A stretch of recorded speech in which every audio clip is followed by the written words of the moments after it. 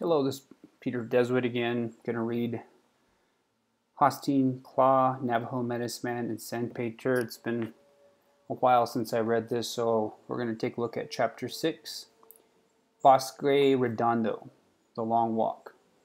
So the first stop was at Sheshpet Fort Wingate, where there was plenty of water and good grazing. Here, their guards were changed, the first group going back to their stations at Fort Defiance. The next stop was at Tuahlin, where again they found good water. The third night they reached Laguna River, where they rested four days and traded with the Laguna Indians. Two more days brought them to the Rio Grande, which was still high from melting snows, but there were several rafts which had been constructed by previous caravans, and these carried them safely across. The crossing was made some distance below the Isleta Pueblo, but all along the river there were houses and farms belonging to Indians, Mexicans, and whites. Here the soldiers gave orders that they were to stay in close formation, for they were marching across Pueblo territory, much against the wishes of the Isleta Indians. Any Navajo who strayed from soldier protection would no doubt be killed. The next day, several Navajo families reported that children were missing, but no effort was made to locate them. The next night, they camped not far from the east bank of the river, and many went to gather wood and brush for their cooking fires. As Slim Woman was searching among the rushes, she saw something that looked like a rabbit. Grasping it by its long ears, she found that it was a baby antelope. When the others saw what she had found, they started after her to take it away, but she ran quickly to her uncle Zihyana and gave it to him. Then several white people came and offered to buy it for four for five or ten dollars, but he refused to sell. That night, when they stopped he tied it in the rushes, and it was bleeding, brought its mother and several other antelope, which were shot with arrows and then eaten. This was repeated for two or three nights, and the fresh antelope meat was very much appreciated by Slim Woman and her family, as they cared little for the rations they were given. Her family never went hungry since they had their own supply of mutton in addition to the government rations. When her foster mother was issued pork, she took the meat and then gave it away, as she did not think her family would keep well if they ate it. She took the beef, salt, flour, and potatoes that were issued, then dug roots and gathered herbs to season the, the stew and the mush she made.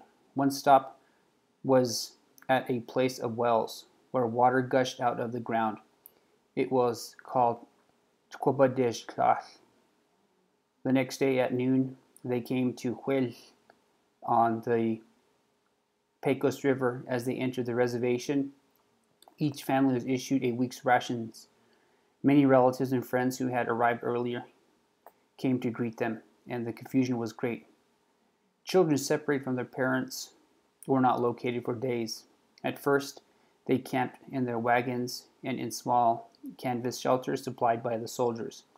Some adobe houses had been built, but these were occupied by the Mescalero Apaches who had arrived before the Navajos. They made their camp near the edge of the compound to keep watch over their sheep and goats, but nothing was safe without a guard. The rations consisted of salt meat, beef, both beef and pork, and when some Navajos saw the salt, they thought it was a poison powder the white people had sprinkled on it.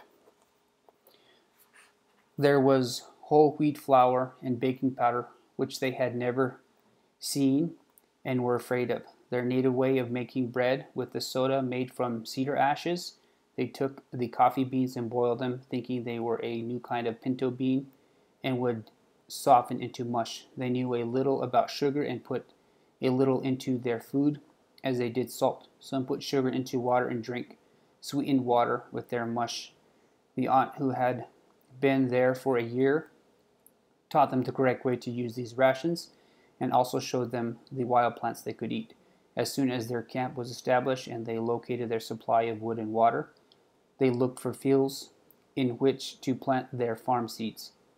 It was getting it was getting along into May and the summer was hot and dry where they came from in northern Arizona.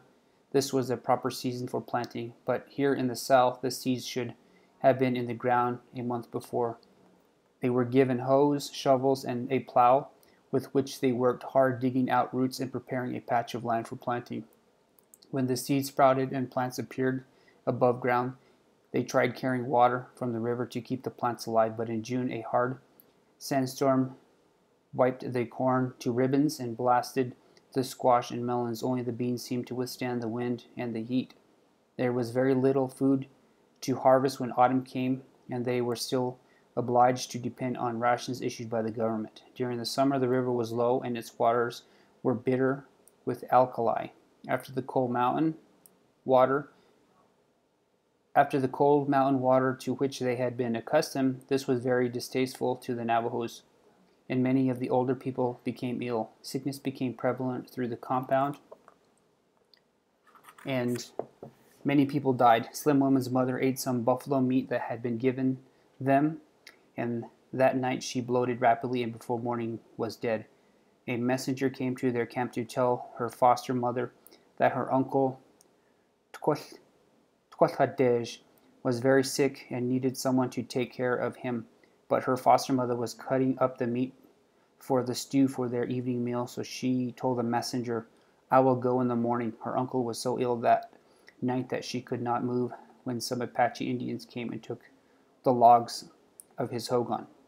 It stormed in the night and he died before morning of cold and exposure. It was shortly after her mother's death that her sister, who had come to Huelte the year before with her aunt, was married to an Apache, and the couple built their house near Zihyanis camp.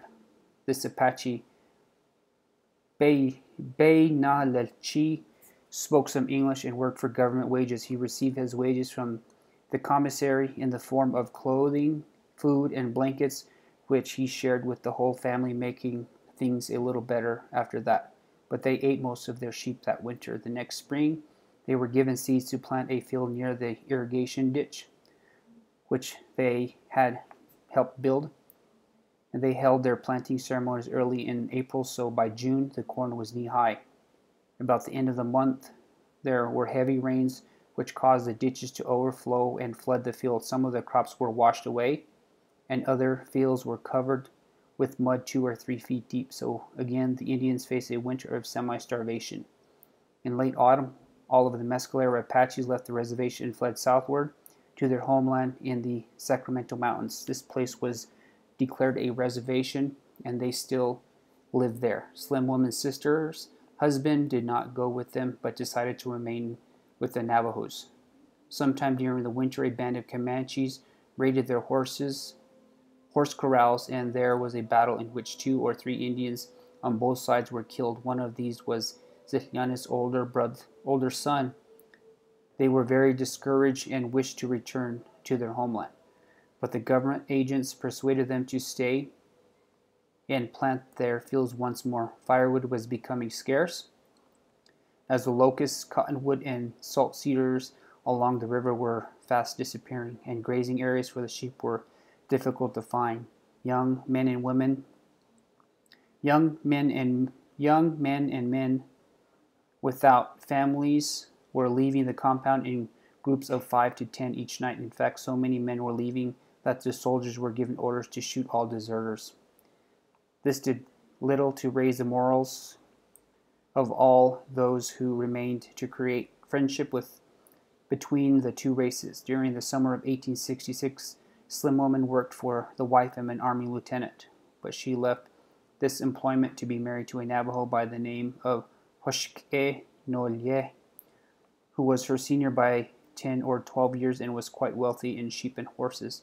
They did not have a regular marriage ceremony since there was not enough food to serve many guests. However, her stepfather was a medicine man and chanted the prayers of blessings, and after they had performed the eating mush rites, gave them a little exhortation of the duties and responsibilities of married life. They had a hogan in the same locality as her foster parents, and they worked. They all worked together.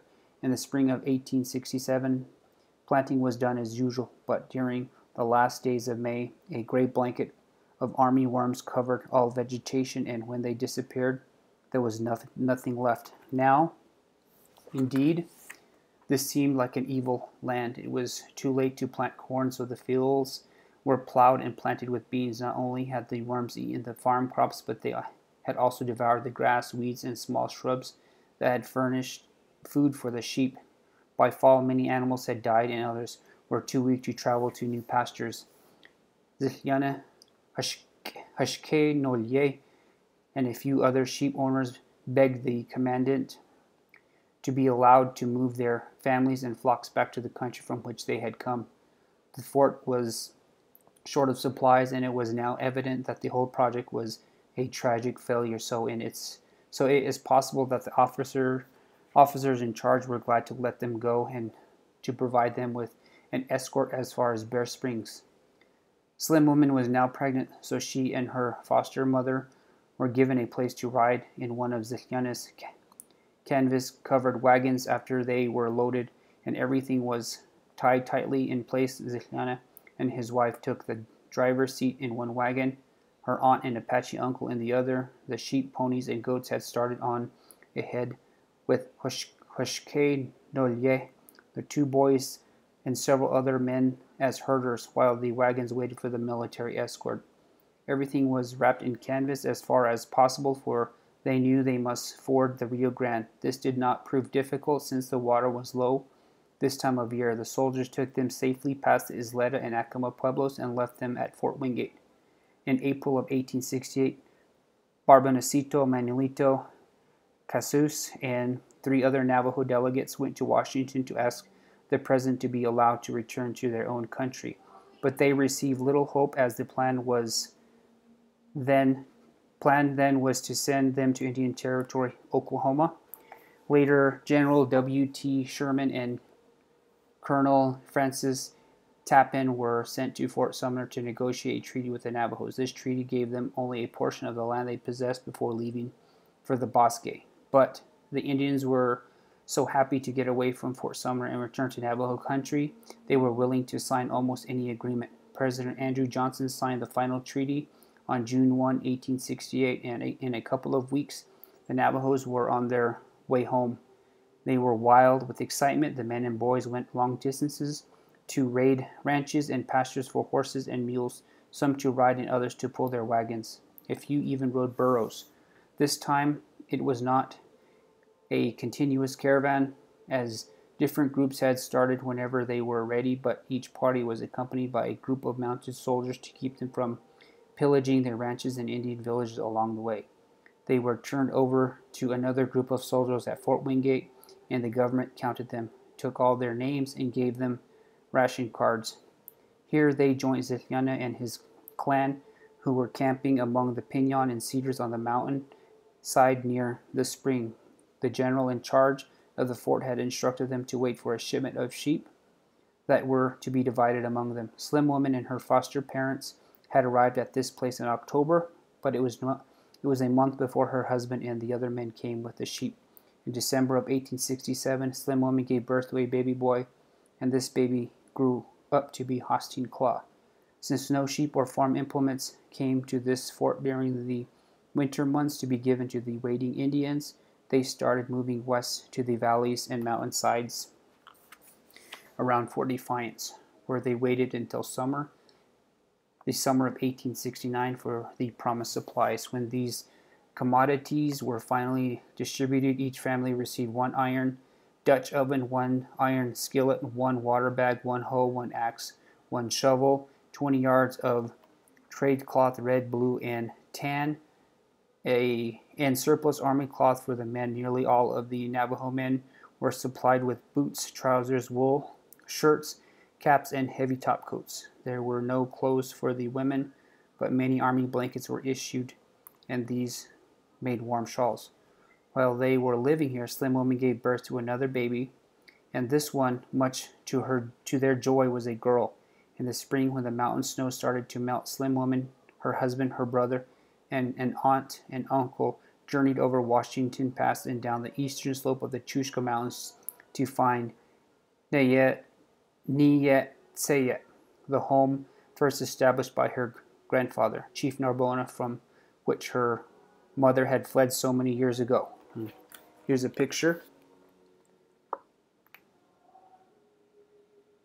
And then, and then here's another picture too. It says gray hair who escaped from the Utes after six years of captivity.